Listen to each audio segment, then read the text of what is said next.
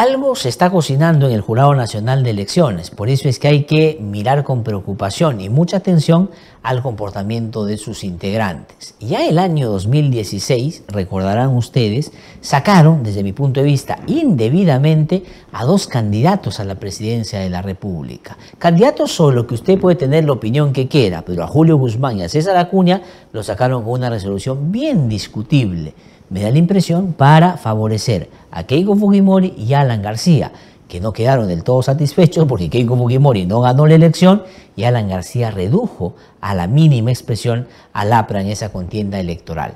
Hace unos días, este Jurado Nacional de Elecciones decidió no aplicar una norma antigua, anterior al proceso electoral, que es que los partidos políticos que no pasen la valla electoral pues pierdan su inscripción y por lo tanto no sigan en política o no puedan participar en la elección del 2021.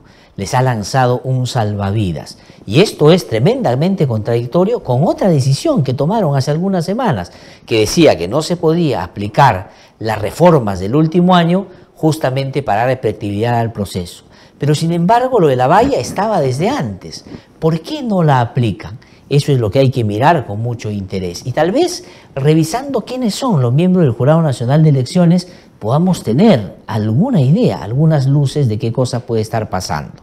El Jurado Nacional de Elecciones está presidido por el señor Víctor Ticona Postigo, que viene de ser presidente del Poder Judicial, que era un contertulio habitual del señor Inostosa Pariachi, a quien en algunas grabaciones se le escucha rendir cuentas a Inostosa por un favor indebido que le hacía y luego le pide un favor indebido también a Inostrosa Pariachi.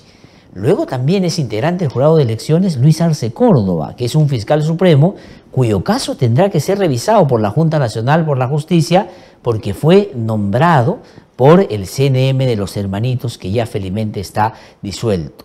También hace parte del Jurado Nacional de Elecciones el señor Rodríguez Vélez, que fue parte de la comisión de indultos en la época de Alan García y parte del estudio del señor Abanto Verástegui, que es un aprista camuflado, además de estrambótico, por supuesto.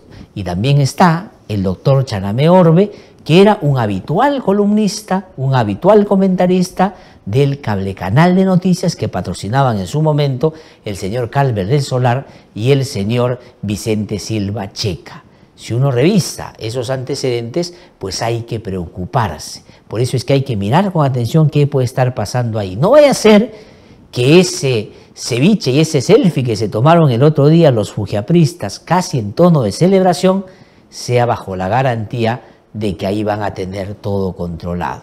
Por eso es que hay que evitar que la salida o el resultado de esta elección no esté en el jurado, sino en la cancha electoral y por eso que usted vote bien es lo que se requiere. Este es mi comentario para mis amigos y amigas de Huayca.